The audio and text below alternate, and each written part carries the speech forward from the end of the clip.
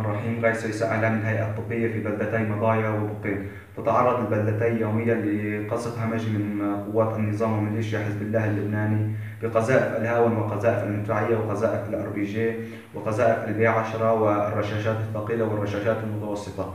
تتوافد يوميا إلى القبو الإسعافي عدة إصابات ومنها اليوم إصابتين وشهيد.